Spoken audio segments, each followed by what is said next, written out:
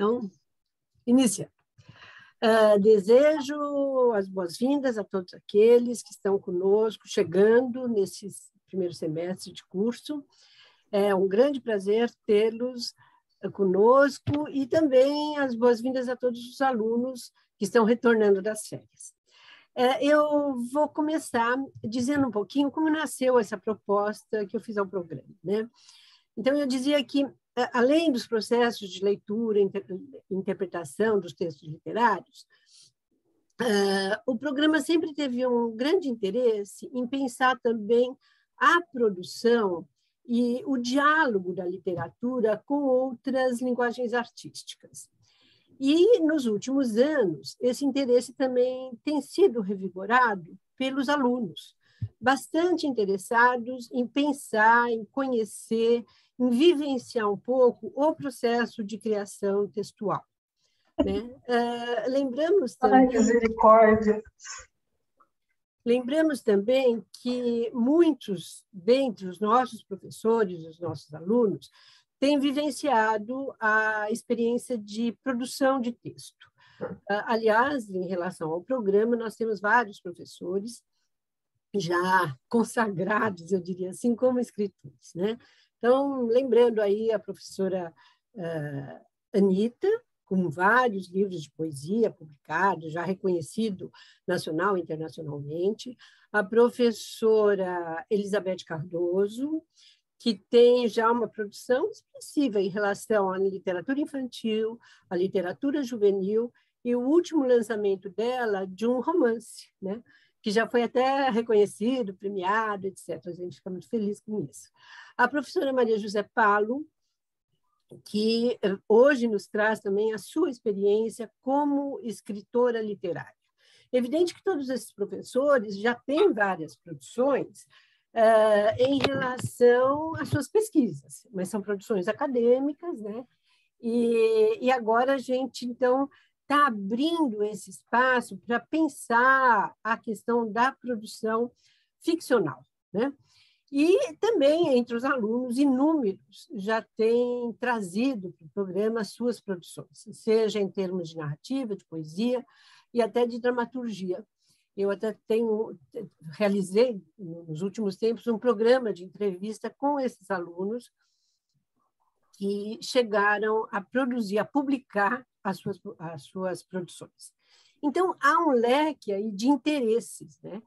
E eu falei, olha, é o tempo, é o momento da gente sentar, né, juntos e discutirmos um pouco isso. Além do que é importante lembrar também a nossa colega, a professora Cecília Sales, que já tem um trabalho mais pontual, mais específico em relação às questões teóricas, pensar o processo de produção, pensar, pesquisar, enfim, e ela tem várias publicações nessa direção. Então, eu disse, olha, chegado o momento de nós pararmos um pouco e nos reunirmos, né? E junto com os alunos, inclusive, pensarmos essa questão do processo criativo. Então, é assim que nasceu a proposta e vamos começar, né? É, eu diria que é, a nossa programação de hoje, então, tem um primeiro momento com a professora Cecília Sales, que vai nos trazer a sua uma síntese, né, uns apontamentos em relação à teoria uh, relacionada ao processo criativo. Depois nós teremos duas apresentações, uma de um professor que é a professora Maria José Palo, com o seu livro Histórias em Haikai. É uma, ela teve em 2021 a sua a segunda edição desse livro e também uma mestranda a Débora Lima com uma produção na área da uh, pesquisa da arte visual. E a, a Débora está conosco trazendo essa sua produção e, ao mesmo tempo, enfrentando o desafio de construir no programa, na sua pesquisa, o diálogo com o literário. E, por fim, nós teremos a professora Maria Rosa Duarte, já nos trazendo uma leitura com apontamentos críticos em relação a esse conjunto de falas que nós agora estaremos ouvindo. Então, a programação é essa. Eu passo imediatamente a, a palavra à professora uh, Cecília Salles, mas antes, só salientando que a Cecília tem vários livros publicados relacionados a essa questão. Eu cito, dentre eles, O Gesto Inacabado, Processo de Criação Artística, que é o mais antigo, de 1998. Depois, Crítica Genética, Redes de Criação, Arquivos de Criação, Arte e Curadoria. E, por último, de 2017, o Processo de Criação em Grupo. Né? Lembro ainda, para finalizar, que hoje nós temos um grupo de estudos de, de, estudos que foi uma iniciativa, até o ponto que eu saiba, espontânea dos alunos, em se reunirem porque estão interessados, são, escrevem e têm esse interesse em discutir, em experimentar um pouco essa questão do, do processo de criação. Bom, Cecília, você está conosco, muito obrigada por ter aceito o convite, e eu passo imediatamente a palavra para você. Muito obrigada pelo convite, é um prazer imenso. Esse grupo que você acabou de falar é escrita criativa e tem muita gente do grupo que está aqui, inclusive a Débora. Né? Então, é um prazer imenso o convite. O tema é fascinante, porque laboratório de criação, para mim, eu me sinto muito à vontade, porque é uma pessoa que acompanha e que estuda esses laboratórios nas mais diversas linguagens. Então, ah, de onde eu falo, eu falo exatamente dessa perspectiva dos estudos de processo de criação, como a Vera falou. Né? Uma teoria, a, a, a, conta esse ah, estudo como foi desenvolvido na PUC, ah, e é interessante lembrar que foi relacionado ao ensino de redação, porque eu era professora de inglês de redação e estava com, né, com umas inquietações em relação à minha ação na sala de aula e dificuldades de saber como se escreve de verdade. Essa foi a, né, foi a pergunta que me fez ir atrás. Uh, e quando eu fiquei sabendo que o Nácio de Loyola Brandão tinha toda a documentação do processo dele, do Não Verás País Nenhum, eu perguntei se ele me emprestaria e assim nasceu o meu doutorado, nessa relação do ensino de redação e como se escreve de verdade.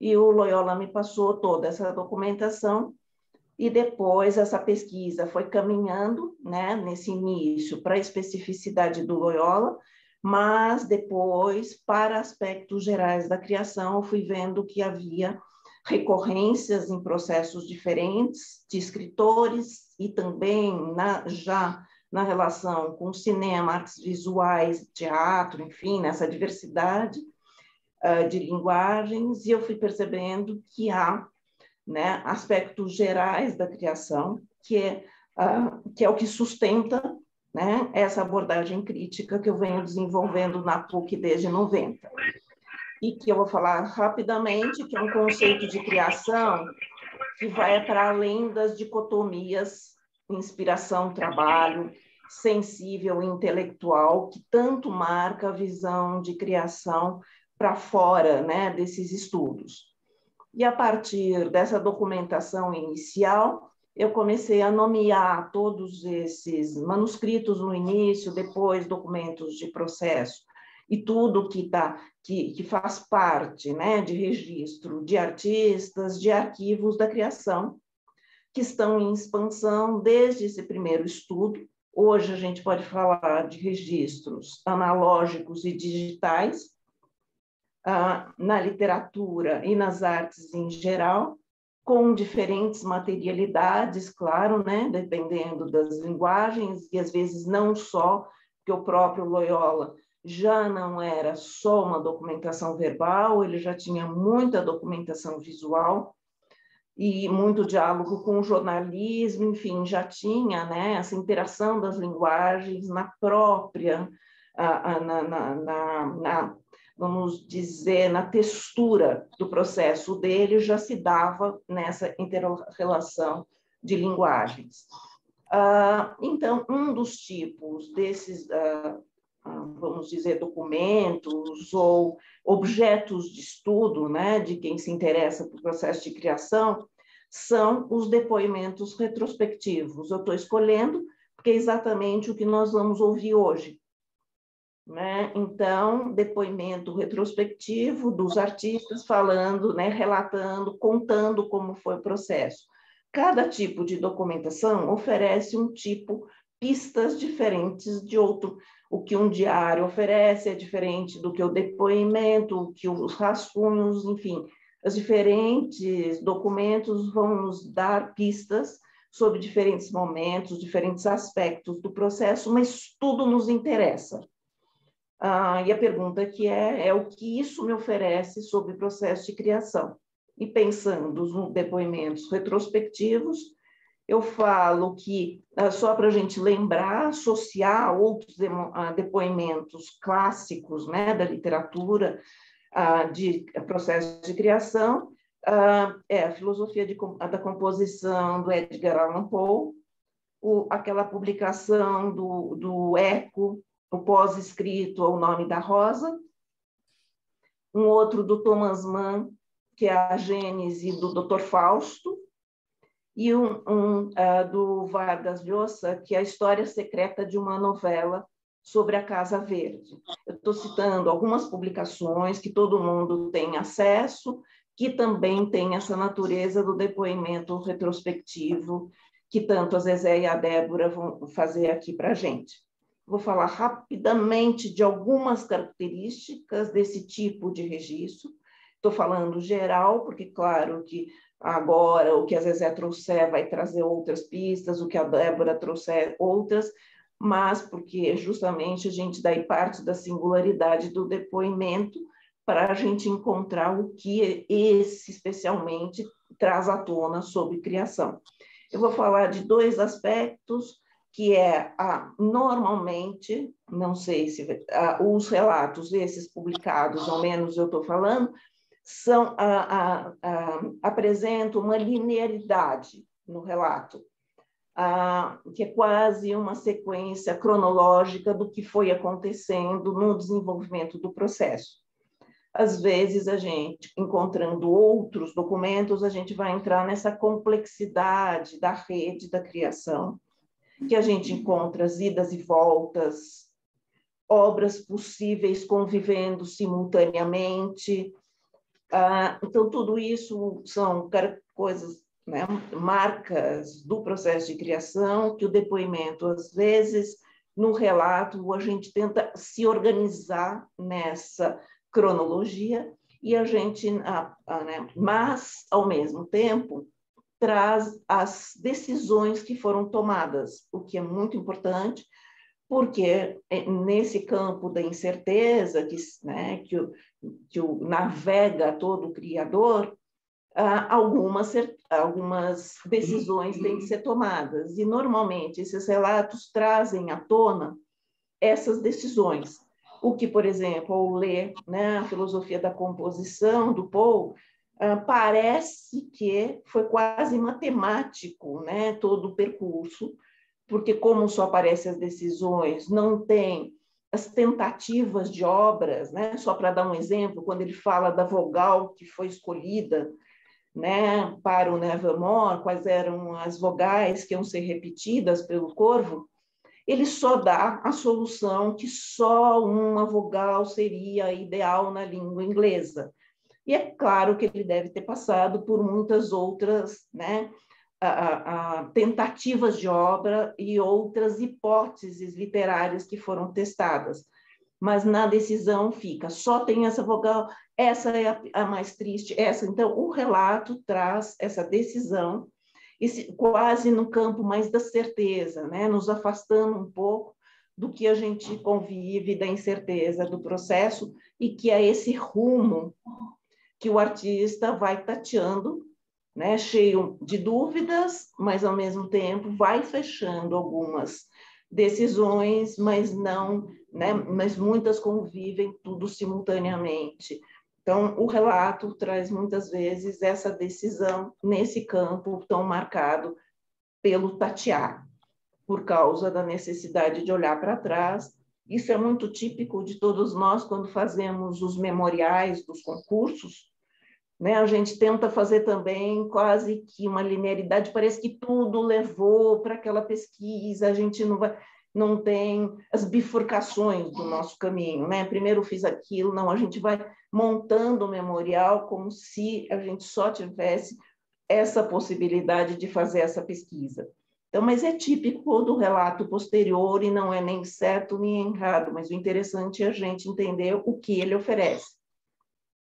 E outra questão que essa mesa traz, eu estou querendo ser bem rápida por causa dos 15 minutos e porque é muito importante vocês ouvir vocês. Outra questão que a mesa traz, além do depoimento, eu estou falando desse aspecto do processo de criação, é esse artista pesquisador. Ah, partindo, como todos os estudos nos levam, que todo artista é pesquisador. Né? A pesquisa integra a obra. A gente, o que o estudo de processo está interessado é ver como a pesquisa qual pesquisa e como essa pesquisa passa a integrar a obra em construção. Quais são os procedimentos de criação, por exemplo, do jornal pesquisado pelo Loyola, vai entrar em decisões da, da, do Não Verás País Nenhum, daquela construção. Então, a pesquisa do jornal, dos livros que ele fez, só para dar um exemplo bastante concreto, ele era um momento em que não haveria mais água, e que daí a hipótese literária que ele coloca na hipérbole que ele está criando ali, do não verás, era que todo mundo estaria a, tomando a urina, né? seria a urina que seria a única solução de água. Daí ele faz toda uma pesquisa da possibilidade, né, livros e, e matérias jornalísticas que tratavam do reaproveitamento da urina. Então, só estou dando esse exemplo, Claro que nós estamos né, em pleno processo de criação, com a hipérbole né, do não verás país nenhum, né, a questão da, da água chegando ao fim, uh, levando aos seus últimos né, consequências, mas eu quero dar um exemplo do que é a pesquisa, que todo artista é pesquisador e que o, o que nos interessa é como essa pesquisa passa a integrar a obra em construção. E aqui ah, nós temos, né? Nós temos, por exemplo, tanto a Débora quanto a Zezé, a Débora especialmente como uma aluna, né, do mestrado, que é, então, já como artista, ela já é pesquisadora, só que nós temos uma nova camada que a universidade está oferecendo. É muito interessante que o nosso programa esteja oferecendo isso, né? que é o espaço do próprio artista vir, né? a, a, na universidade, que ganha essa camada maior nessa complexidade dessa, uh, desse artista pesquisador, se a gente pensa que está fazendo mestrado e doutorado ou TCCs, né, como nós temos aqui né, a Karen, que eu sei que ela está aqui assistindo, que também veio do, de um TCC, que pensou em fazer sobre o seu próprio processo. Então, tudo isso nós damos relevante, que nós estamos dando né? O que, que os estudos de processo fazem? Oferecem essa possibilidade do artista pesquisador interessar que questão que está em jogo nesses processos que vocês estão né, nos mostrando e que tem essa outra complexidade de virar mestrado e doutorado também. E tem também esses, né, esses depoimentos também oferecem daí para nós pesquisadores de processo né? Uh, vão ampliando, que é o que eu digo, cada depoimento novo, cada né, vai ampliando a minha pesquisa, daí sob a minha perspectiva, né, esse espaço de reflexão, os depoimentos me oferecem mais um espaço de reflexão para o que é esse artista pesquisador agora na universidade que eu acho que é muito relevante a gente ter meios para falar disso, já que a gente está oferecendo né, esse potencial né, nos programas.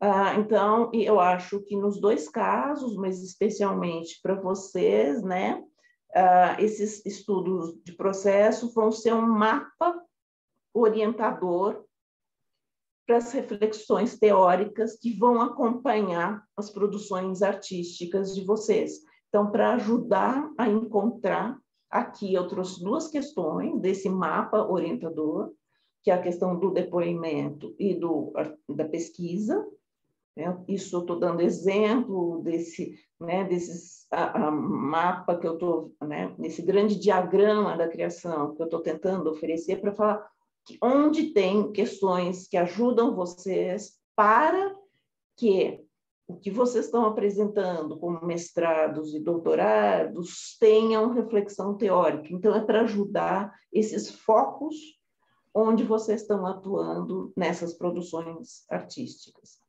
Então, é um prazer mais uma vez. Eu não queria te... ah, eu acho que eu fui fiel ao tempo. Eu fico preocupada muito com o tempo. Estou olhando aqui.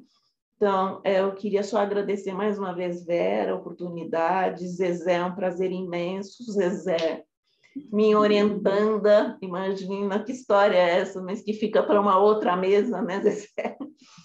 E Débora, que eu estou acompanhando já há um tempão, né, já desde o começo do ano, na, na escrita criativa e nos nossos encontros. Então, muito obrigada para todos. Depois, claro que estamos abertos para conversa. Muito bem, Cecília, obrigada pela, por essa introdução, né?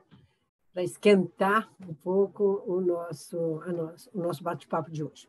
Bom, dando prosseguimento, agora a gente vai ouvir, eu vou passar a palavra à professora Maria José Paulo, também professora do programa, e às vezes tem um trabalho muito árduo na área da teoria literária, da, muito ligada à questão da literatura de infância, e também ao romance contemporâneo. Ela tem dado vários cursos no programa relacionados ao romance contemporâneo, a questão da a narrativa na contemporaneidade.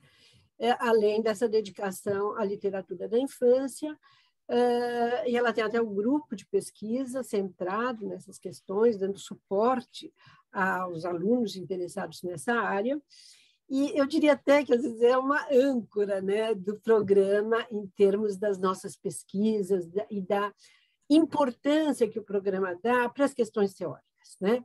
É, quer dizer, estudar literatura, o prazer do literário tem que ser compartilhado dentro da academia, com essa reflexão, né, essa construção de um arcabouço teórico que dê consistência às nossas leituras, às nossas produções, etc. Uh, e uh, com todo, todas essas pesquisas de uh, grande densidade teórica, às vezes é no, no final da 1992, né, se eu não estiver enganada, ela nos presenteia, eu diria, com um livro surpreendente que é Histórias em Haikai. É, então, foi uma experiência como criação, e é por isso que ela está aqui conosco. Esse livro ela construiu, vamos dizer assim, ela elaborou em parceria com a Cris Palo, sua filha, que é artista plástica, e que assumiu toda a parte da ilustração do livro, belíssimo. Nós vamos apresentar agora esse livro, a Débora vai nos dar apoio aí para o compartilhamento, né, Débora? E, então, a gente vai apresentar e a Zezé vai, então, falar sobre essa experiência. Esse livro foi teve a sua segunda edição no ano passado, 2021, trazendo novamente a possibilidade de adquirirmos, de conhecermos essa obra belíssima. Zezé, um prazer tê-la conosco e você está com a palavra. Obrigada, Vera. É... Suas palavras me fazem voltar ao passado, né? E onde demos início nossa formação de mestre, mestre e doutor, a cursos que nos motivaram né, é, a, a poesia, a poética, né? e, e que nos orientou de uma maneira vibrante, forte, né? Guerrida a aliar a docência à poética e o seu fazer. Né? Nós temos essa formação e que eu, que eu trago na minha produção, simples produção, mas que tem um lastro de um grande, eh, demorado exercício sobre a poética, sobre a poesia. Né? tanto em relação às áreas literárias, quanto à semiótica propriamente dita. O programa em que, que nos formou doutores. Né? Então, eu trago a vocês, alunos do programa, uma síntese desse trabalho a longo prazo, que vocês sabem bem, que exercemos na nossa docência, no programa de literatura e crítica literária, é, com bastante é, vigor né? e crença, muita crença, como a própria Cecília nos, nos fez demonstrar. É, a minha intenção na produção de histórias em Hakai, que vocês verão, não é, Vera? Nesse folhear, se for possível mostrar, é uma proposta artística, em primeiro lugar. Uma proposta de um modo de fazer, né? que teve origem em segundos, em lapsos de segundos, com o pensamento, porque fazer, produzir o haikai é produzir com o pensamento. É bem diferente da poesia propriamente dita, é, não fazer derramado ou não fazer concreto, corporal, verbal. A produção do haikai, então, é, é uma produção de arte no tempo. É um tempo segundo, é um tempo que é pensado, porque esse tempo ele observa o movimento das coisas. Então, é um, uma linguagem que, é, em que as categorias verbais desaparecem não há substantivo e nem verbo, embora o recai, como vocês verão, ele trabalha com as categorias, porém elas são anuladas pelas emoções. Elas são substituídas por sensações, sentimentos, né? E por verbos concretos que fazem interações habitutivas, criativas, né? em sendo continuamente. Então, são energias. E essa energia, o poeta ou o fazedor do haikai, ele insere na, nesse esboço impressionista. É, eu me lembro que quando apresentei Histórias em Haikai, isso em 1998, primeira edição, né? Eu pus o livro nas mãos de crianças de 3, 4, 5, 6, 7, 10 anos e fui observando as respostas sensitivas e impressionistas das mesmas crianças, né? E percebia apenas o imaginário. Um haikai sugeria três, quatro, cinco histórias um traço sugeria uma mini narrativa. Né? Uma aproximação contígua de cores levava a outras imagens é, estranhas para mim é, no reconhecimento do haikai. Então, é, é um esboço impressionista expandido em efeitos imagísticos. E por isso ele é simples, por isso ele é singelo, por isso ele é breve, é curto, né?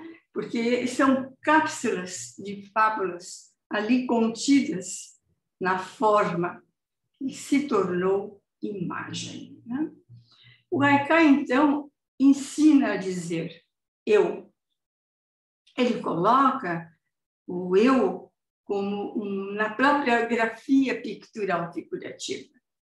E são os haikais né, que trazem essa realidade desnatada, é uma realidade desnatada que deixa apenas rastros para fábulas possíveis. E o que é um haikai? Então, vamos ver, não é, Vera, abrindo Histórias em Haikai, né? se possível, abrindo as páginas, e eu vou é, trazendo a este leitor né, imaginativo o contar de poemas, né? o contar de fábulas que não são narradas, porque são traços, rastros imagísticos que se mesclam entre cor, forma, espaço e o verbal, né? sugestivo. Então, o haikai é como entremear das franjas de uma bandeira. Então, ele fica em movimento permanente, né? tentando, flutuando com as cores, flutuando com as formas, com esse movimento do pincel na arte do sumier. Tá? Ainda há uma eh, representação né, desta arte, da qual eu falarei, né?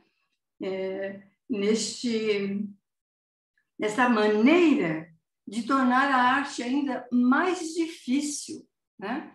no seu trabalho formal, porque é um eu que é dito nessa arte pictural. E depois eu explicarei o que é, quem é este eu, né? nesta arte figurativa que escreve e, ao mesmo tempo, é uma imagem, né? é um rastro contra o sentido. Então, não há uma, um sentido linear, não há sentido unilateral. Né? É uma montagem, é uma célula que tem que faz da colisão e põe em conflito é, fragmentos de uma montagem né? entre signos do Haikai. O eu, onde está no Haikai? Ele está no escrever, na leitura que a escrita faz da imagem. Então, nós temos lua queria, ou lua queria, ou lua quemia. Nós temos uma aproximação que nos remete Alice no País das Maravilhas, de Lewis Carroll, né? apenas num lance de pincel curvo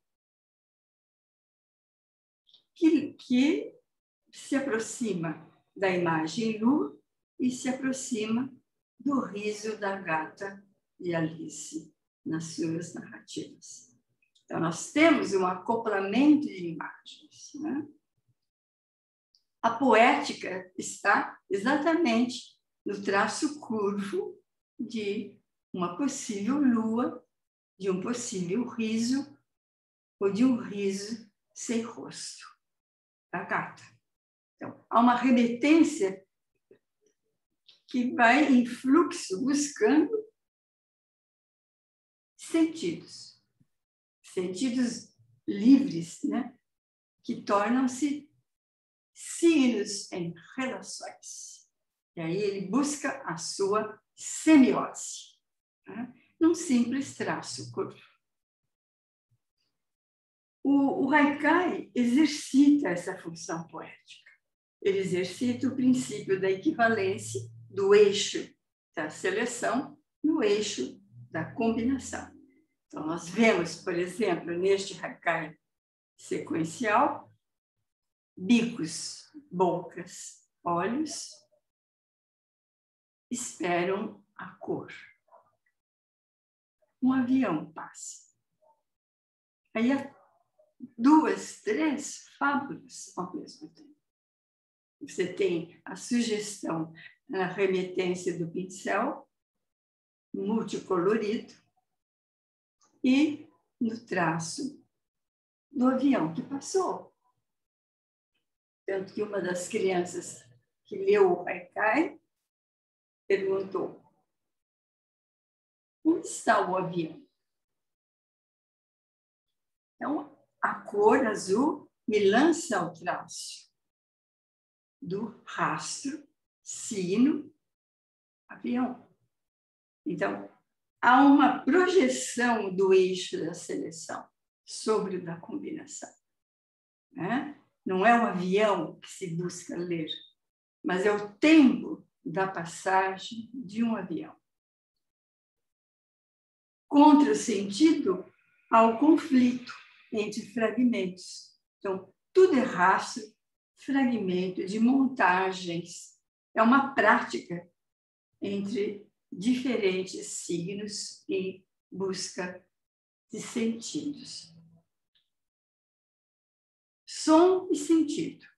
Esses são os signos né, que continuam nos raikais. Né? Então, na primavera, sapos, tlum, né?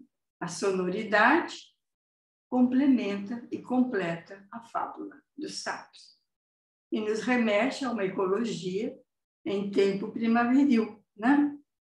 uma analogia com a, a realidade primavera na natureza. Né? A natureza é evocada na simplicidade do movimento dos signos visíveis, não visuais. Há uma grande diferença entre signos visuais e signos visíveis. O Haikai exige o signo do olhar, né? aquele signo que nos olha ao mesmo tempo que olhamos. Há uma dialética, conforme Walter Benjamin nos orienta, né? entre o objeto e o olhante ou aquele que olha.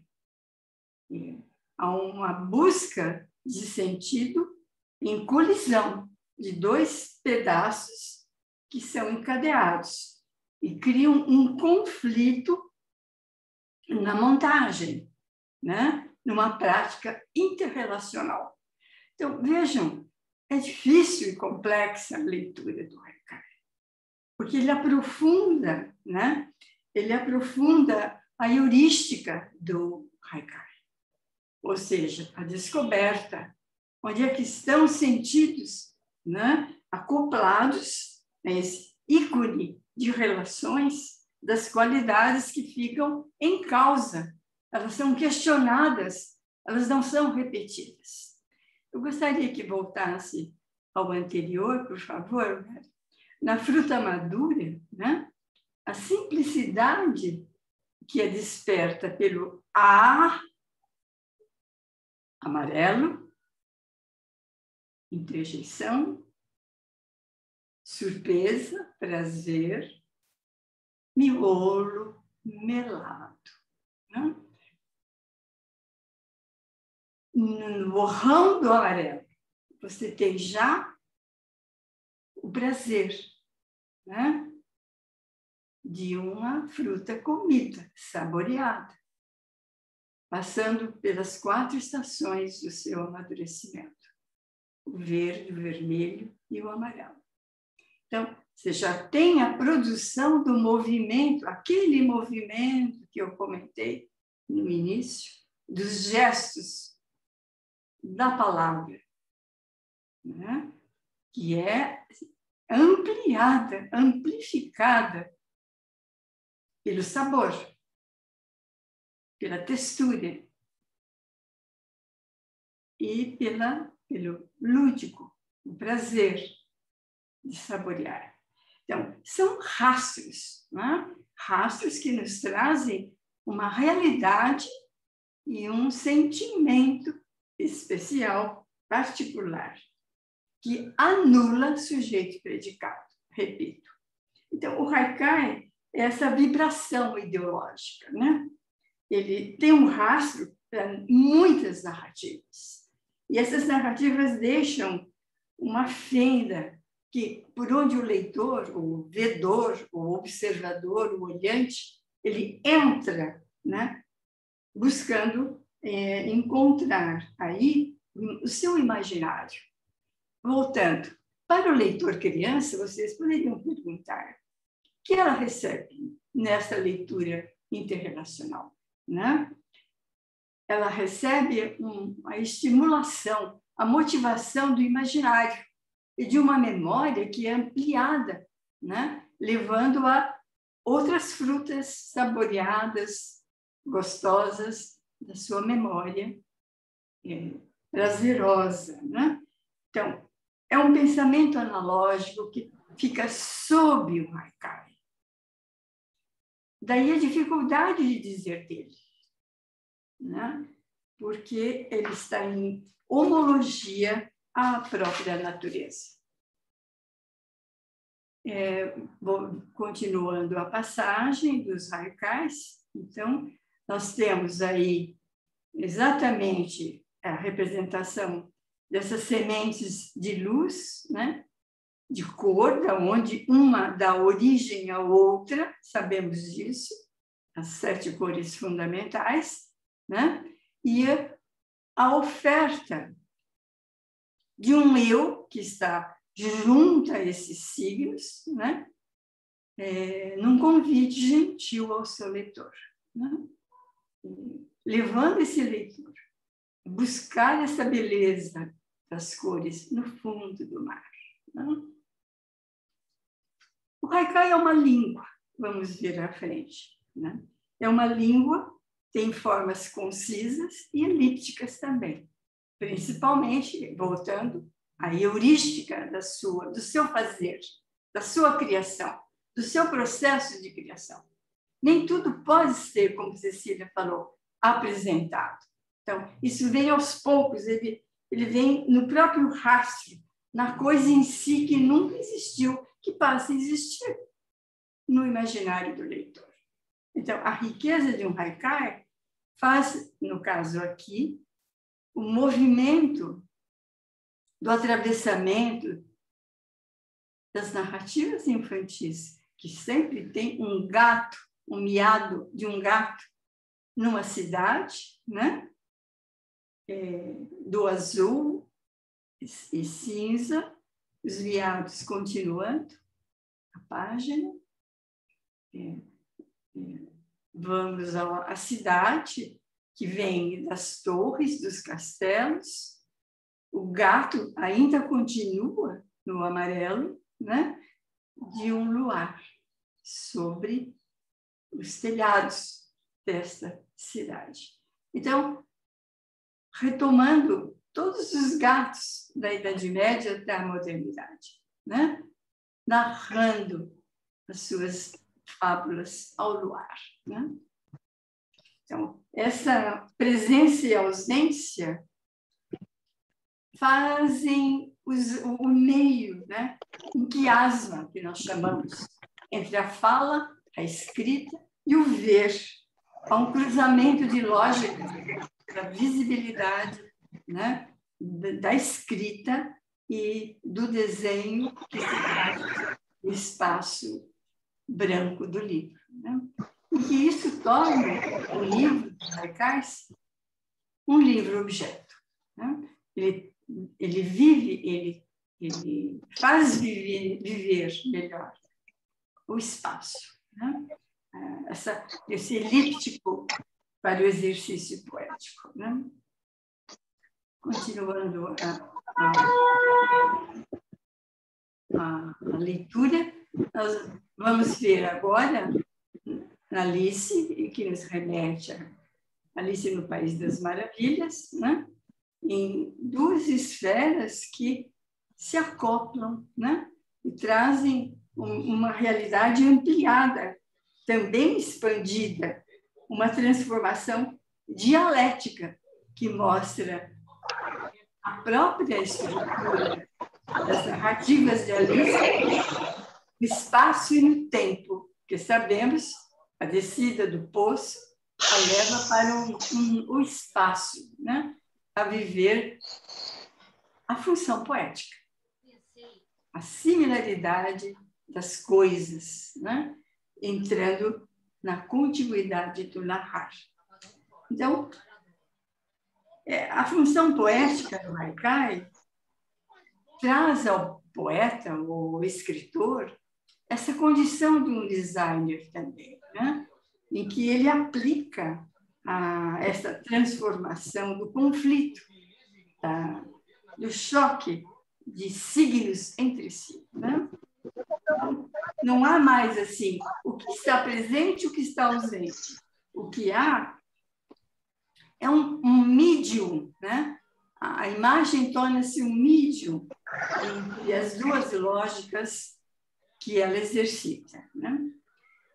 O Haikai traz essa linguagem harmoniosa. São harmônicos vibrantes que vão saturando a lógica. Né? É uma lógica tão saturada que faz a narrativa se multiplicar. Ela se desdobra, ela, ela se entretece através de impressões gustativas, sonoras, visuais, coloridas, espaciais, em reversão, né? É, para esse exercício poético. Ou seja, há muitas maneiras de reverter essa lógica da poética.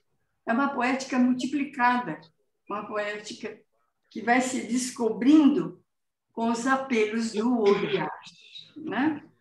Esse olhar que põe a poesia em analogia à natureza. Eu acharia a coisa mais bonita de dizer, porque são sínteses, né? Entre a poesia e a natureza e mais reais do que as próprias coisas, porque são identidades fornecidas pela natureza. Seguindo o livro, então, é, vamos encontrar a outra imagem. A rã se emaranha no mar. Quer amar. Vou reler.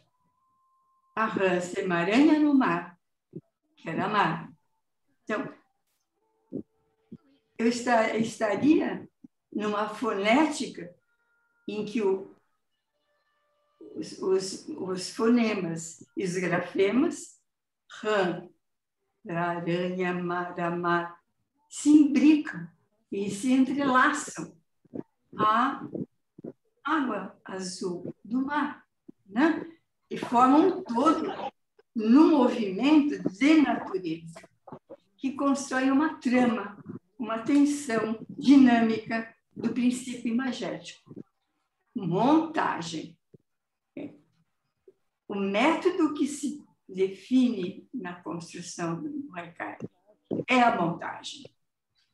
Em sendo montagem, ele cria paradigmas, né? não mais horizontalidades. É uma dialética do evento poético. A língua, então, vai recebendo a realidade, a natureza, né?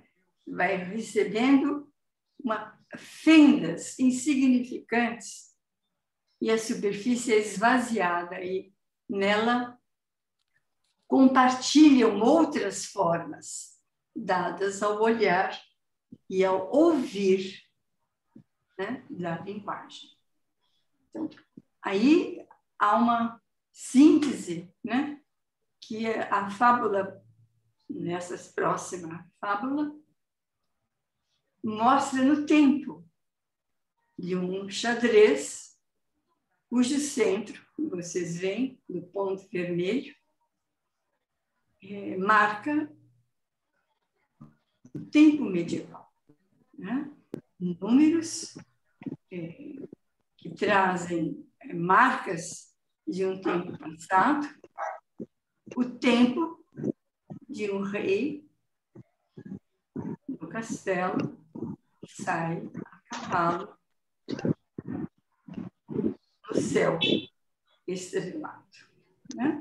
Então, eu já construí uma narrativa, mas é uma narrativa que mostra já a fratura do tempo, a passagem do tempo entre os quadrados uniformes e as, a fragmentação do tempo, chegando à contemporaneidade.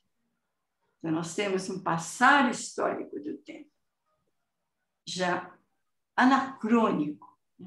Não mais cronológico, no Haikai, né? que modula esse quase signo no processo analógico. E indo mais à frente, acho que o tempo também já está né? É, terminando, não é, Vera? Nós vamos ver o cosmo vagando. É, foi interessante a origem deste verbo cosmo vagando. Foi num curso do Júlio Plaza que nós fizemos na arte visual, onde eu preparei um pequeno vídeo que tenho guardado é, do verbo cosmovagar. Isso em 1998, né? E que me levou a um sumier circular, como vocês veem, né? É, rompendo com o tempo em favor do espaço, e que leva a imaginação no tapete mágico, nas histórias do tapete mágico. Né? Podíamos seguir. E ainda aí, nós encontramos é, nessa pictografia do Haikai, nós encontramos o exercício desse método no diagrama das pipas, né? que em três cores ela se multiplica em uma pipa amarela, uma pipa azul, uma pipa azul e amarela, uma pipa pink ou vermelha e azul e amarela. Então, nós temos uma ampliação, uma amplificação da cor e da forma. Essa amplificação, as, matizes se misturam e buscam harmonias visuais. Né? O olho aprende a recombinar as cores, que as mãos entre fios, rosa, amarela, amarelo, violeta, movimentam, passando pelos assobios dos meninos. Né?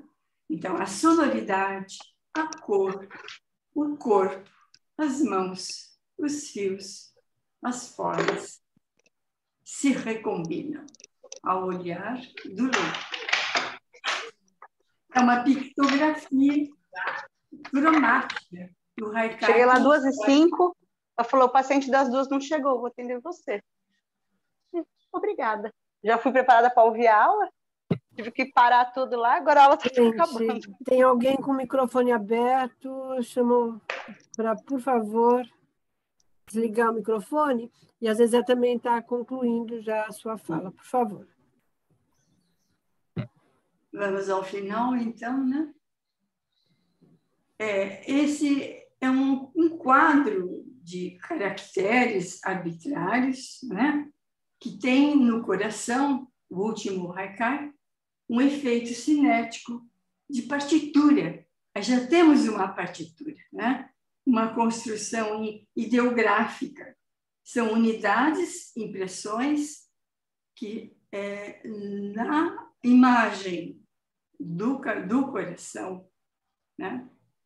Espalha o vermelho, partilha o vermelho, lança fragmentos para a poesia. Né? Gotas de amor vermelho trovas medievais à espera. Rubro coração, outro, outro rubro coração, outro rumor de poesia. Então, a leitura é dupla, a leitura fica em troca, né? ela fica à espera de novos rumores poéticos e que ficam presos a harmonia musical dessas incidências verticais no desenvolvimento vertical e horizontal da melodia dos haikais. Então, eu tentei passar a vocês exatamente essa analogia estrutural do haikai, que o pincel do Sumier constrói a, na inspiração do Zen budismo, existe um silêncio a ser lido, existe uma busca de sentidos, é, de apelos à, à sensibilidade, né, às melodias e à própria oração. Então, é, o que eu tinha a dizer nessa descrição, que eu chamo de progressivo evolucionista, dessas substâncias dialéticas dos eventos poéticos. É isso que eu tinha a dizer. Obrigada, gente, por estarem ouvindo. Muito obrigada. Obrigada, Zezé. Nós é que agradecemos essa belíssima leitura. É interessante a gente observar como nós podemos viver o prazer, o deleite mesmo desse texto, né, dessa obra, e, ao mesmo tempo, está tecendo essa reflexão teórica. Belíssimo trabalho, Zezé. Você está, mais uma vez, a gente pode dizer, de parabéns por ter realizado e por ter nos presenteado né, com essa obra tão sensível. Né? E aí a gente percebe também o que, que é o literário quando ele se oferece aos olhos de uma criança ou aos olhos de um adulto, né? Nesse sentido, não há diferença nenhuma entre uma criança em contato com esta obra e nós, né? Uh, vivenciando desde os olhos né, do gato da Alice. Então, uh, a gente vê que literatura ela não, não trabalha mesmo com o limite da idade. Né? Lendo, muitas vezes, a gente tem a, a dificuldade de, de fazer as relações, de entender ou de decodificar de imediato, né? mas o processo de, de, leitura que nos leva à descoberta traz toda essa relação de prazer que é a, que a linguagem artística nos, nos traz. Mas a gente vai ter oportunidade de ouvir um pouco mais e comentar isso depois, mais ao final. Eu vou passar imediatamente. Obrigada, Zezé. Muito bom. agradeço. A sua colaboração nessa atividade. Eu vou passar em seguida a palavra para Débora, Débora Lima, é nossa mestranda, é, ela ingressou no programa no ano passado, é uma artista visual, já tem trabalhos até premiados, e a Débora é formada em comunicação social, é, rádio e TV pela Faculdade Rio Branco, mas ela também é formada pela Escola Pan-Americana de Arte e Design. Ela atuou como editora de arte na Pearson Education, do Brasil, onde ela permanece hoje como editora digital.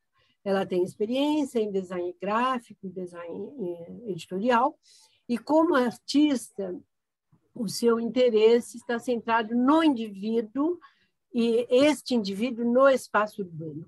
Então, é um pouco dessa experiência de construção artística que a, a, a Débora vai estar aqui e compartilhando conosco o seu trabalho. Débora, você está com a palavra e é muito bom te receber aqui, poder compartilhar com os professores, porque muitos ainda não conhecem o seu trabalho, você é nova no programa, né? E mesmo os seus colegas, né? Eu acho que é um, vai ser bem proveitoso podermos fazer essa divulgação do seu trabalho e também é, mostrar como que o programa de literatura e crítica literária está enfrentando esse desafio dos diálogos, né, das diferentes linguagens artísticas com a literatura. Débora, você está com a palavra. Bom, obrigada, professora Vera. Quero cumprimentar a mesa e a todos que estão nos ouvindo. É, já quero iniciar pedindo desculpas, porque estou é, me recuperando de uma tosse, então pode ser que em alguns momentos eu precise beber um pouco de água. Mas é, eu quero também agradecer à professora Vera pelo convite de estar aqui e poder dividir essa mesa com a professora Maria Rosa, Maria José e a professora Cecília. Primeiro, por ser uma temática que me interessa há um bom tempo e também porque a Cecília, né, a pesquisa dela é uma das minhas principais referências do, do meu trabalho como artista pesquisadora. Bom, eu vou compartilhar então aqui a tela. Vocês já estão vendo? Sim. Ok. Bom, é, aproveitando também, quero pedir a licença, pois preparei uma leitura e vou passando os slides e vou fazendo a leitura. Bom. Ao me apropriar deste espaço como lugar de experimentação, apresento Metaposter, passagens entre criação Fruto do curso de artes plásticas na Escola Pan-Americana, Metaposter é um trabalho que combina elementos das minhas experimentações plásticas e da minha pesquisa em desenvolvimento aqui no programa, juntamente com a professora Vera. Nesta mesa, por estar dentro do prisma da produção criativa, não pretendo me aprofundar nas reflexões teóricas e críticas que envolvem meu trabalho. À vista disso, dividi esta exposição em três eixos que serão articulados ao longo da minha fala. Primeiramente, os pontos-chave do meu processo de criação. Em segundo, a linha narrativa de metaposter, ou seja, séries que fazem parte diretamente do percurso de experimentação do trabalho. E, por fim, uma visão geral de metaposter. Evidenciar o meu percurso de criação implica reconhecer algumas marcas do meu projeto poético. Temática, experimentações com múltiplas linguagens, arquivos de criação enquanto obra, articulação teórico-conceitual, produção de séries e os autorretratos são alguns dos pontos norteadores do meu processo. Dentro da temática conceitual, tenho explorado plasticamente as relações entre criação, espaço, sujeito desde 2015. E quanto à perspectiva dos processos de criação, embora eu já tivesse a prática, ao produzir e arquivar variados arquivos de criação, e também compreendesse o experimentalismo do meu trabalho, os estudos propriamente dito em torno da criação foram incorporados apenas em 2018. Desde então, minha pesquisa tem permeado diferentes experimentações a partir da relação criação-espaço. Além da temática recorrente, o jogo entre múltiplas linguagens, traçado entre processos digitais e analógicos, apresenta os diferentes caminhos que envolvem a criação. Fotografia, desenho, pintura, audiovisual, escrita, design se entrelaçam. Os arquivos de criação não são apenas registros, mas são a própria obra. Diante disso, apresento um breve recorte de trabalhos que tecem a linha narrativa experimental de Metaposter. Então, em tornos, meu trabalho de conclusão da graduação é dividido em dois cadernos, caderno preto e caderno azul. Assemelhando-se a um sketchbook, foi o primeiro trabalho em que há sobreposições de diferentes linguagens, bem como foi a primeira experimentação articulando a pesquisa artística e acadêmica, tendo como plano de fundo teórico-conceitual o processo de criação, o caminhar pela cidade e o livro de artista. A cidade se coloca em criação. Os recortes de sua arquitetura se desterritorializam e tomam um aspecto de formas, linhas e curvas que convidam à experimentação e à imaginação do criar sobre elas. Matéria plástica, flexível. O espaço se transforma em texto, envolto sobre o criar matéria do entorno. De 2015 a 2021, registros e descartes, fragmentos colecionados, expostos. Um dia de manifesto é o primeiro trabalho em que resgata processos antigos, sobras, para a composição das imagens. Em pôster color fill, à direita, temos a continuação da experimentação de um dia de manifesto, trabalho à esquerda mas ao invés de fotografias, GIFs. O jogo óptico de sobreposições e transparências presentes em ambas as séries entregam graficamente o diálogo entre o corpo do artista, seu trabalho e seu entorno. O processo aqui se expõe como manifesto, a artista e a obra.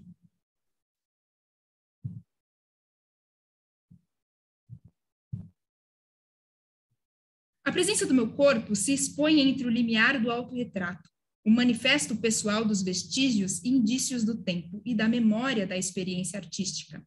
Apesar de ser um, um corpo reconhecível, especialmente para aqueles que me conhecem, sua compreensão se expande para além do simples autorretrato, ao intencionar-se como elemento gráfico, em articulação com as páginas dos cadernos e as sobras de pintura. Os fragmentos incorporados à composição trazem à tona a mera representação da figura do artista. Um corpo reconhecível, mas em parte ordinário.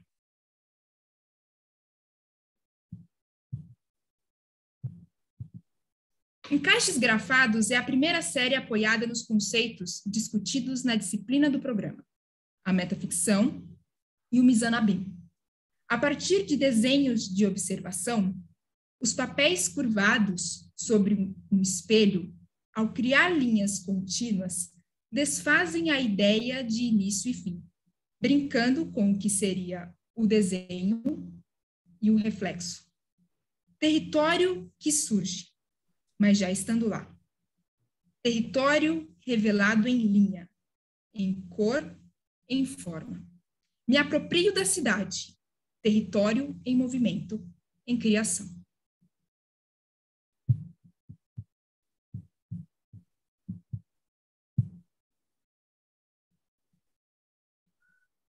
Não pretendo entrar nos pormenores em relação aos NFTs e ao metaverso muito menos problematizá-los por hora. Entretanto, as possibilidades de criação frente a essas linguagens são de fato pulsantes em meus interesses e têm se demonstrado como novos caminhos de experimentação. Metaficção, narrativas em encaixe. Metaposter é um trabalho multiplataforma, criado com fragmentos de processos feitos ao longo dos anos, desde escritos feitos ainda na infância. Composto por um conjunto de três peças principais, sendo um painel impresso, canvas, de 40 por 80 centímetros, que é o que vemos no, no centro da tela, um site e um protótipo de aplicativo desenvolvido na plataforma Metaverso Studio. Quanto às referências conceituais, me detive à teoria crítica de processos, as relações metaficcionais discutidas por Gustavo Bernardo, os homens narrativa de Todorov e as passagens de Walter Benjamin. Quanto à composição, as chamadas passagens presentes no trabalho são recursos de acesso que o espectador utiliza para transitar entre as imagens, telas. Ou seja, no painel impresso temos dois QR codes, como vemos na tela, que é esse do meio. Um direciona para uma das páginas do site, outro direciona para a assinatura do trabalho. No site, a imagem à esquerda, né, esse site, e na experiência do aplicativo, temos botões nomeados como passagem, P, em que, ao clicar, o espectador é direcionado para outras telas. Como narrativas dentro de narrativas, Toda a experiência é cíclica e interconectada, sendo 40 passagens no total.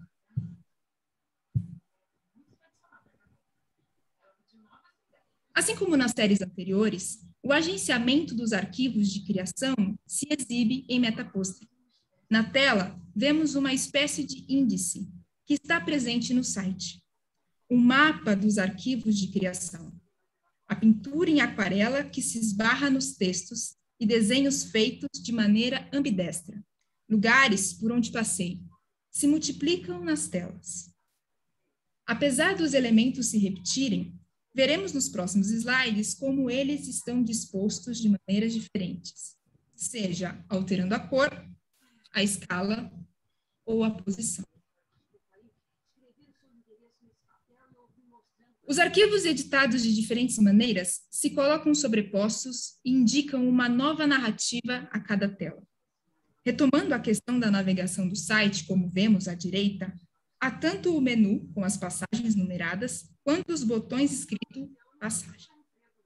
Vemos também a assinatura do trabalho, que é acessada por um dos QR Codes do painel impresso. A desconstrução de uma temporalidade demarcada pelo início e fim proposta na narrativa contínua do formato em GIF evidenciam tanto a compreensão da metaficção, de voltar para dentro de si, e representam a construção em rede do percurso criador. Apesar de alguns elementos serem estáticos, o arranjo e rearranjo da composição e a alternância dos espectros de cores materializam os campos de testagem da criação que enfrento em meu processo. As imagens se colocam em construção.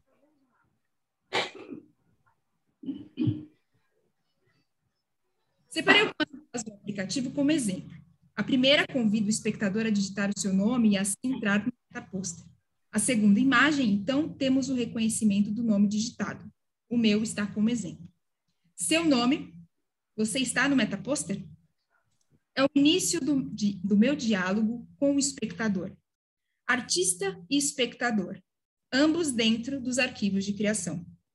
Ao lado, temos outros exemplos de telas interativas, né, como jogos e a passagem do, do, ao clique das passagens, né? Autos retratos multiplicados. Selfies que revelam uma autoficcionalização do ser artista e me colocam em interação com o espectador. Para Gustavo Bernardo, ao se inscrever no trabalho, o autor apaga a si mesmo e se contamina da ficção. Nesse sentido, os limites entre a identidade do autor-criador e do autor-personagem se esbarram.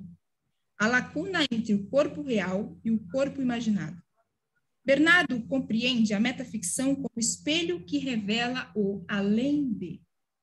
Para ele, a ficção se posiciona diante da realidade não apenas como um reflexo, mas como uma inversão que se multiplica por diferentes direções.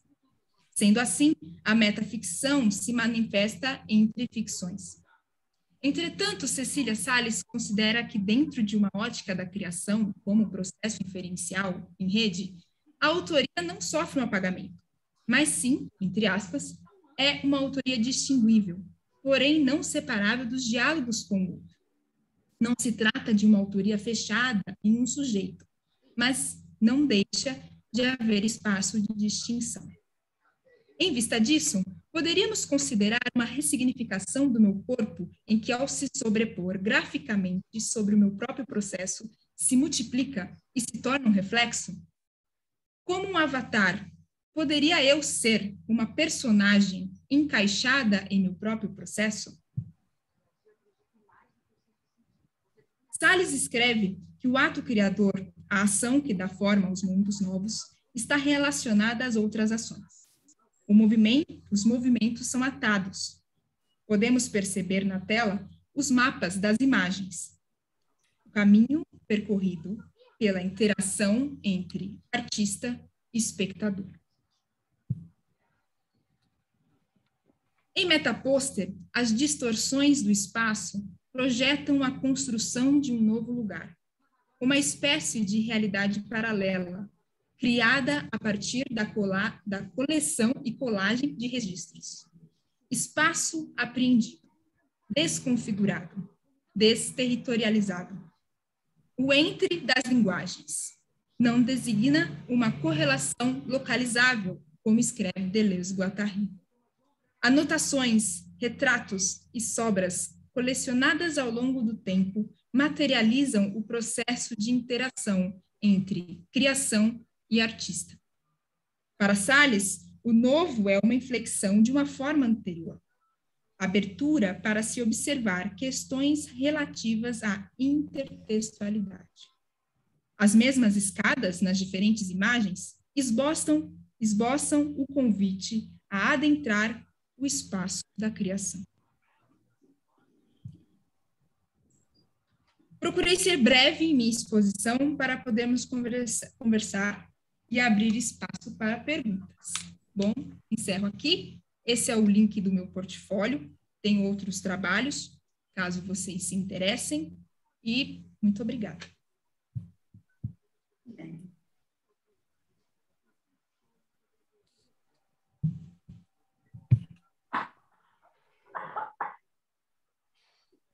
Professora, você está no mudo. essa questão de desligar o som e ligar, gente às vezes se perde. Bom, Débora, muito obrigada por sua participação. É interessante a gente observar a manifestação dos colegas, né, conhecendo esta sua face né, criativa, e, e também descobrindo né, um pouco dessas potências, vamos dizer assim, dessas qualidades né, que nós temos circulando pelo programa, vivenciando a experiência do pesquisador no nosso programa. Débora, eu vou passar imediatamente a palavra à professora Maria Rosa, a gente está com um pequeno atraso, eu gostaria de abrir ainda um tempo para que as pessoas pudessem fazer algum comentário além do chat, ou mesmo alguma pergunta. Mas, para adiantar, eu diria: quem quiser elaborar já alguma questão, poderia ir colocando no chat e nós articulamos isso de maneira a ganhar um pouco de tempo. Mas vamos passar então à fase final, que é com a presença da professora Maria Rosa Duarte.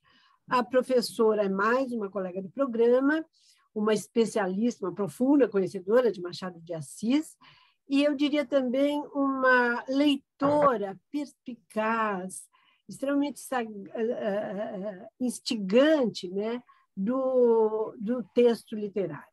Mas a Rosa também se aventura muito nas relações com as outras linguagens artísticas. Eh, eu destacaria na produção da Maria Rosa o livro Machado de Assis, Conto para Muitas Vozes. É um livro bilingue que ela publicou e que é um material riquíssimo da expressão da sua pesquisa sobre Machado. A Maria Rosa também tem um grupo de pesquisa altamente produtivo, né, dentro do programa e eh, como artigos e capítulos de livro ela já colabora com, conosco, e eu citaria entre esse, nesse material a escrita, dramaturgia e performance em Adeus Cavalo, de Nuno Ramos, que foi, acho que é o seu último artigo, se eu não estiver enganado, é de 2021. Uh, ah, também a Fazia da Desrazão em Arte de Produzir Efeitos Sem Causas, sem Causa, de Lourenço Mutarelli. Esse também é, é uma publicação recente, é. provavelmente 2020, né? E em busca do núcleo descriativo da escrita poética. E ainda uh, poemas, voz e palavra, o limiar como desafio ao pensamento, enfim.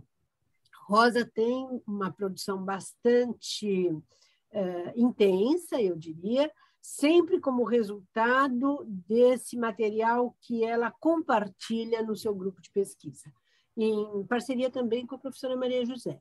Rosa, é, é um prazer ter você aqui e também eu diria assim, a gente já vai criando né, uma grande expectativa em te ouvir, porque foram tra uh, trabalhos bastante estimulantes, os dois que nós acabamos de, de conhecer, entre aspas, né? É, pode dizer que eu já conheci o trabalho da Maria José e da Débora, mas de trazer aqui e poder compartilhar. Então, é, eu estou bem curiosa para te ouvir. Você está com a palavra, querida, bem-vinda, e tenho certeza que todos os que estão nos ouvindo vão tirar excelentes frutos dessa sua fala que começa agora. Ah, tá bom. Obrigada, Vera, obrigada pelo convite, por estar nessa mesa e digo que foi bem difícil para mim, porque eu não conhecia o trabalho da Débora. Então, como uh, falar de dois processos criativos sem conhecer muito um deles, né? Mas a Débora me mandou alguma coisa, mas agora é que eu vi mais, né? Então, eu sei que a minha fala em relação ao trabalho da Débora vai ficar bastante incompleta, né? Porque eu pensei, como que eu vou unir os, os, dois processos criativos? O que, que eles têm em comum? E o que eles têm de diferente? Agora, hoje eu vi o que eles têm de diferente. Então, eu vou apontar uh, algumas questões. Né? Uh, eu uh, achei que em ambos os trabalhos, eles têm a lógica do Haikai implícitos, né? A, lógica está implícita em ambos os trabalhos. O da Débora parece que mais estranho, né? Como? A lógica do Haikai nesse trabalho amplo, digital, uh, metalinguístico, como? Cadê? E quando você tem toda a simplicidade do Haikai. O trabalho da Débora é extremamente complexo, com arquivos de criação dos mais diferentes tipos. Mas o que me pegou muito no, no trabalho dos dois né, é, e tem a ver com, com a lógica do haikai, é o caminhar, o caminho, né? Enquanto uh, no haikai, pegando da onde vem o haikai e qual o poeta que é o grande mestre do haikai, que é o Basho, um poeta japonês que viveu entre 1644 e 1694. E ele era um viajante. Ele, ah, uma das maiores obras do Basho é o seu diário de viagem. E, e, isso tem muito a ver com a lógica do haikai, mas também tem muito a ver com o trabalho da Débora, só que o caminhar dela é pela cidade, por esses restos, por esses arquivos de criação. Não deixa de ser um caminho, um caminhar. E no trabalho eh, Histórias de Haikai, isso é muito visível. Né? A relação com a lógica do Haikai é completa. Então, tem um, um livro que eu gosto demais, que é, são os seminários do Bartes sobre o Haikai. Então, eu vou partir daqui. Eu fiz uma recolha de alguns fragmentos nos quais ele coloca o que é a arte do Haikai, para depois fazer algumas relações com histórias de Haikai da Zezé e o metaposter da Débora.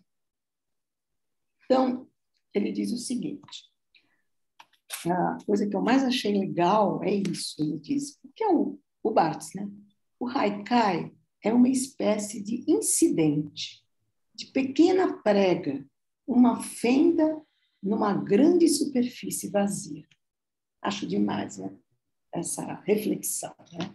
Uma prega insignificante, tão pequena, numa grande superfície vazia. Né? Então, o haikai é uma forma de notação do presente. Né? Ela é breve, é um átomo de frase. Essas são recolhas que eu estou fazendo do Barthes. Tá? Uh, diz ele que é preciso vê-lo escrito com a ruptura das linhas. É um pequeno bloco de escritura. Né? Uh, o, o, importante no, no Haikai é o espaço, o espaçamento, o intervalo, diz o Barthes, é a prática do tempo espaçado. Interessante que ambos os trabalhos manifestam isso. Né? O importante é a passagem, é esse lugar do intervalo, que é essa pequena fenda numa superfície vazia, um tempo espacializado. Né? É uma escrita do instante.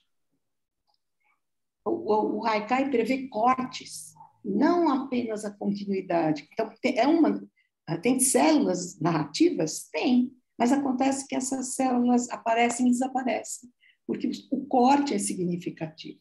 Por isso, a Zezé falou em montagem e a Débora falou em colagem né, de materiais e de linguagens as mais diferentes. Então, isso é um outro ponto que une os dois processos criativos. Né? Aí o que eu acho incrível é como que o sujeito está. Zezé falou muito, né? Cadê o sujeito? Cadê o eu que escreve? Onde está presente, né? O Haikai não fala eu. É interessante os poemas do Haikai, você não tem a palavra eu, mas onde está a subjetividade? Diz o Barthes, que aí é uma questão de espanto. O que importa no Haikai é o espanto por uma conexão imprevista. Isto é o lugar da subjetividade na construção, né? Então, é a emoção do espanto que é imprevisível, que é uma espécie de emoção sem eu, porque não é psicológica, né? Esse também eu acho que é um ponto presente em ambos os, os processos criativos, tanto da Débora quanto da Zezé. É, é um eu-corpo. Tudo isso é o Barthes, né? É um eu-corpo sempre presente no Haikai. É um puro poema de enunciação. Isso eu acho demais. Imagine um poema de enunciação sem enunciado. Né? É o processo de enunciação, é aí que está o lugar do Haikai. Né? E que ele é um articulador de sensações, exatamente o que a Zezé expôs. Né? Ah, implica essa aparição brusca de um referente do Barthes também, no passeio da vida e da palavra na frase. E interessante que isso também tem a ver com os dois trabalhos. Né? No caso da Débora, é um passeio pela cidade, pelo espaço urbano, só que não é só na, na frase. Né? O, o conceito de frase é amplo, porque tem o texto, mas também tem a, a fotografia, mas também tem arquivos analógicos e digitais. Então, é, é como se fosse realmente um grande caminhar, um grande passeio né? E, e, esse referente aparece e desaparece, aparece e desaparece. Esse é o lugar do espanto.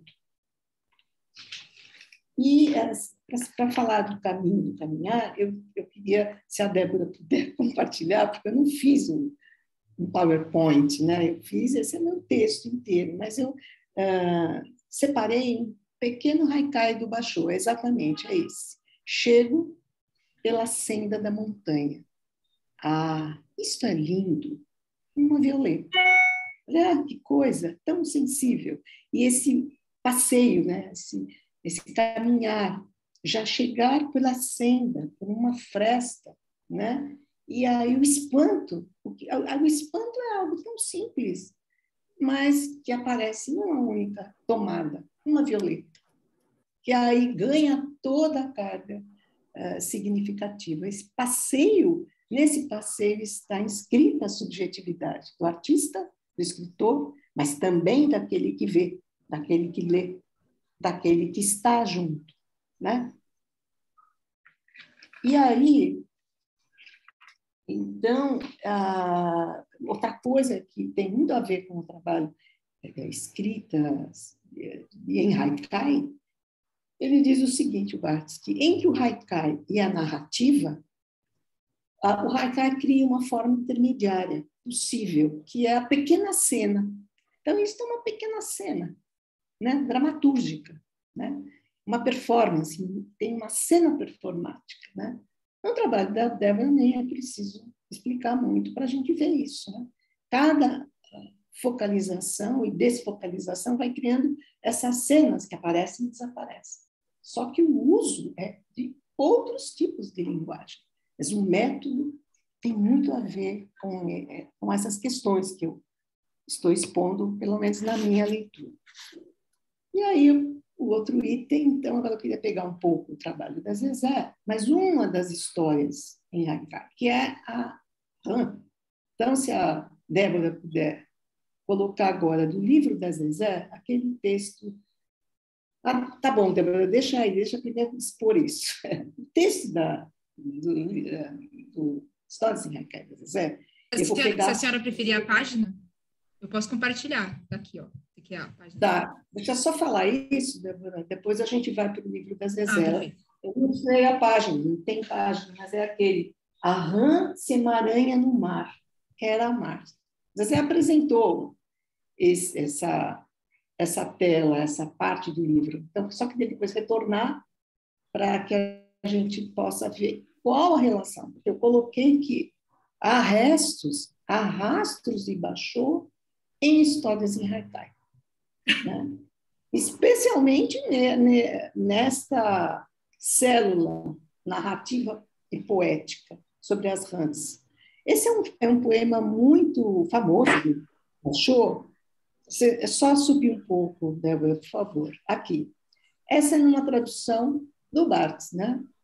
ou que ele recolheu, porque ele não sabia japonês. Ele recolheu e é uma possível tradução do Basho. Um velho pântano. Uma rã salta nele. Ah, o ruído da água. Então, isso é muito interessante, esses espaços. E uh, não é só, não é só um, um trabalho para a visão, mas é para o ouvido, para a escuta. Né? Ah, o ruído da água que é algo que talvez a gente não prestasse atenção, essa percepção tão simples do ruído da água. Né? Aí a gente tem duas transcriações na nossa literatura. Uma do Décio Pinhatari, que é essa que vem a seguir. Velha lagoa, uma rã mergulha, uma rã, água, água. Então, uma exploração visual, uma, exploração do espaço da página, mas também uma exploração sonora, né? como um grande ideograma. Né? E depois o, o Haroldo também faz uma transcriação desse poema do Machot, que é essa aqui. Uh, o velho tanque, o velho tanque, uh, uma rã, deixa eu ver como é, o velho tanque, rã, sal, tomba. Ele cria uma. Bom, então, o velho tanque, rã, sal, tomba, rumor de água. E aí o próprio Haroldo diz que nesse sal, tomba, ele procurou fazer uma chamada palavra valise, uma palavra que é um pequeno ideograma, né? E realmente o salto se faz, tomba porque muda de linha, né? Então vejam é, quantas possibilidades de transcriar, não é traduzir apenas, mas é de recuperar a cena, restos dessa cena, né? numa outra língua. E, num, e, e pensando num receptor com outra percepção. Né? E agora, no Histórias de Haikai, é essa página que a Zezé mostrou, que tem a, é em página dupla. Não sei se a Débora achou aí, mas é logo depois daquele Alice, Alice. A rã se no mar. É como ele está compartilhando, eu pensei que estava compartilhando tudo. Peraí. Tá.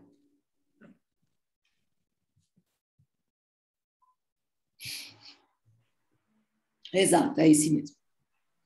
Então, olha que interessante. Aí você tem restos do Basho, pegadas do Basho, né? E do próprio Haikai. Então, isso é muito bonito de ver, né? E, e aí eu você tem, então, a rã, o se emaranhar mesmo, na palavra mar, no amar, você tem a rã, a palavra rã, que se emaranha, mas não só. Então, aí você tem uma composição, uma pequena cena, uh, que faz aquilo que diz né? a palavra rã, se emaranha na palavra mar, e atrás dentro de si. É um ato de narrativa poema, onde você tem todo um emaranhamento, uma contaminação com a imagem, com os gestos da tinta, das gotas, porque você vê que parece um esboço, parece que o artista errou. Ele deixou um monte de pegada do pincel né, na página? Dá essa imprevisibilidade, esse instante, né, colher esse instante. Gestos de tinta, gotas jogadas casualmente, um esboço, né, o traçado errático da rã e do pincel. Esta é um lugar também de subjetividade, né? mas não apenas do artista, mas do pincel, da tinta, né? Das, da própria palavra, tudo isso compondo essa cena narrativa e poética ao mesmo tempo. E aí, o metaposter e a prática da cotidiana da anotação. Assim eu nomeei o item, né? porque eu vi muita ligação com esse método do Haikai. Também diferenças. Né? Então, no metaposter, a gente vê também essa anotação, essa recolha de instantes, nesse caminhar pela cidade, né? e pelo mapa dos arquivos da criação que a Débora mostrou. Também é um caminhar, né? por esses arquivos da criação. E uh, você tem, ela disse uma coisa muito legal, uma apropriação da cidade. Se uh, o trabalho desta, uh, deste trecho, deste texto das Zezé, se apropria do Bachô e do próprio Haikai, o trabalho da Débora também a gente tem uma apropriação, mas na cidade, né? em experimentações de linguagens mais diversas. Né? Uh, uh, o que mais que eu vejo em relação à, à questão do caminho, no caminho caminhante. Isso é muito importante para o Haikai, isso o Bachô viveu isso, né? Ele era um caminhante e ele estava no caminho. E a poesia dele é exatamente essas pegadas, esse rastro do seu caminhar. Né? Eu vejo isso também no trabalho da Débora. O caminho está o caminhante, o sujeito nas próprias, nos próprios arquivos de criação, como me chamo, analógico, digital, nas telas, eu gostei demais das telas interativas, veja que coisa impressionante, né? Quantas mídias ela usou, né? Não deixa de ser um caminhar, né? Não só pela cidade referente físico, mas pelas tecnologias, pelas, pelas possibilidades de linguagem que nós temos hoje, né? E finalmente o próprio título, metaposter, que já nos leva à questão da metalinguagem. Né? É, então, o processo criativo se faz na própria construção. Né? Você tem ação e pensamento unidos, um processo. Uh, você tem essas séries. O inacabamento é uma coisa que a, o trabalho da Cecília fala muito dos processos de criação, e ambos os trabalhos, ambos os métodos mostram esse inacabado. Né? Séries que reverberam em novas séries. Né? Então, esse lugar da reverberação, das redes criativas, é um lugar uh, comum a ambos os projetos criativos das duas autoras, a Zezé e a Débora. Muito obrigada. É isso que eu tinha a dizer. Muito bem, Maria Rosa. Muito bom te ouvir, muito interessante a maneira como você propõe essa leitura múltipla, né? articulando os dois trabalhos. Né? E achei muito interessante também, gostei demais como você resgatou o poema Ram, né? esse resgate criativo, recreativo, né? em diferentes momentos, por diferentes autores, mostrando também, aí, eu diria, o, o, ato de caminhar, né? caminhar pela literatura, né? caminhar pelas construções artísticas, caminhar pelo, pelos diferentes olhares dos diferentes poetas em diferentes momentos. Né? Achei isso muito rico e que fica aqui como estímulo mesmo para os nossos alunos, para as pesquisas que estão sendo construídas, né? como caminhos a serem percorridos. Né? Eu acho que nós temos uma felicidade imensa em ter você, em ter a Zezé no programa, com este olhar tão sensível, tão aguçado, e, ao mesmo tempo, é, percorrendo essa sensibilidade, né? essa, essa reflexão, né? que é uma reflexão árida, não é fácil realizar essa, é, é, é construir essa reflexão. E, e daí está lançado o desafio, né, Débora? O trabalho da Débora é um grande desafio para ela e para o programa, porque ela vem com uma grande bagagem em relação aos seus experimentos na arte visual.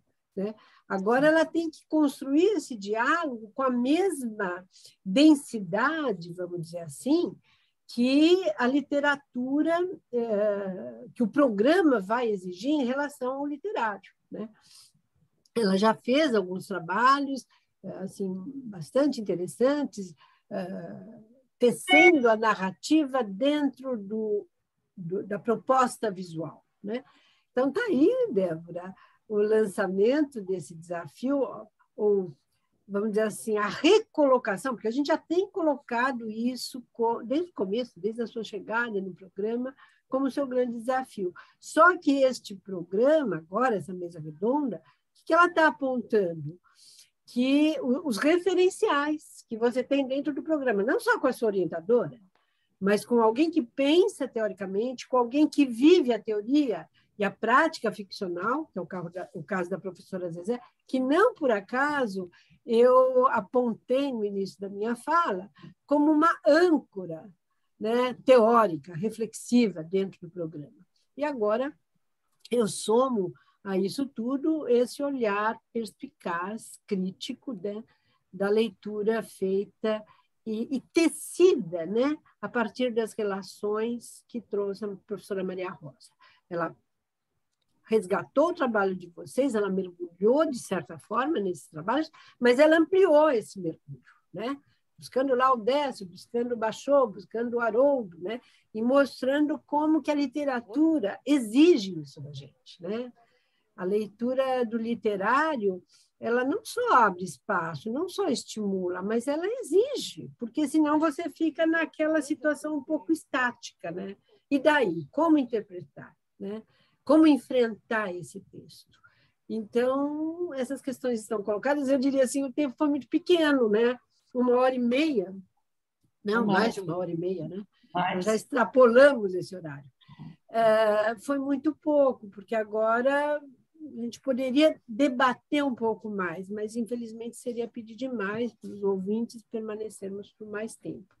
Mas está aí, eu acho que é uma boa proposta para a gente desmembrar em novos encontros. Né? Eu agradeço muitíssimo a presença de, das quatro uh, componentes dessa banca.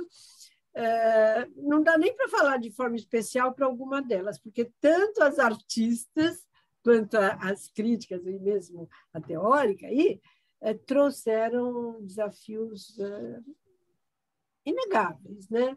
Para a gente, para o nosso trabalho, para o nosso dia a dia na construção da pesquisa e dos produtos críticos que a gente tá, tem por realizar no programa. Gente, muito obrigada. Obrigada também muitíssimo as pessoas que estão aqui presentes e que nos acompanharam do começo ao fim. Eu observei que as pessoas que começaram ficaram até o final, apesar da gente ter extrapolado o tempo. Obrigada a todos. E eu digo que eu tenho aí um grande estímulo para dar uma continuidade, repensar novas propostas nessa direção. Obrigada, um bom dia, um bom final de dia a todas vocês. Não sei se alguém queria dar alguma palavrinha ainda, será? Fica o microfone aberto. É, muito Mas obrigada, é? Vera, pela oportunidade. Agradecer. Agradecer. Isso aí, é ótimo. É muito bom. Obrigado, Débora, também pelo apoio técnico aí, com os é, compartilhamentos que ajudou bastante. Até mais e um bom é, final de dia. Tchau, gente. Tchau, obrigada. Tchau, tchau.